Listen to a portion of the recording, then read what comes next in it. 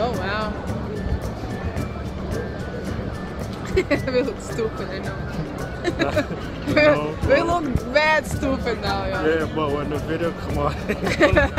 Ćao Dragana, Vesna, Ivana, Mateja, Jana, Nenad, Marija, Dragan. Svi. Nalazimo se na Empire State, State Building. Znači, visoko je do vola, strašno je. Ne sam mi pogledati koliko je visoko. Sad će da vam pokaže malo bliže, so you come here. Ovo me podsjeća na film kad porastem bit ću kengure.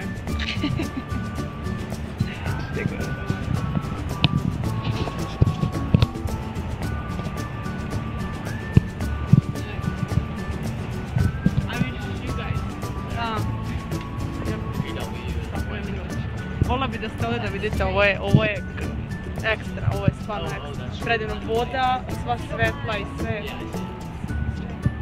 Predivno. E, a kola ovolika ovako, kad se pogleda dole ovolika. I'm talking about the cars. How they look small. you understand Serbian, huh? Yeah.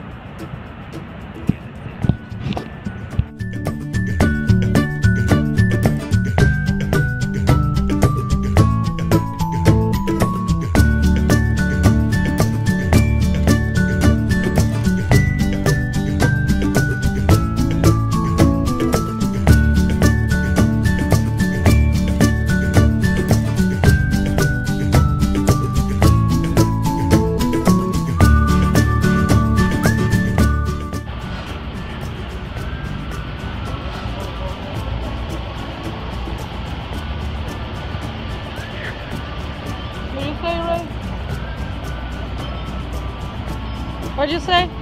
Said I let your phone drop over there. Right.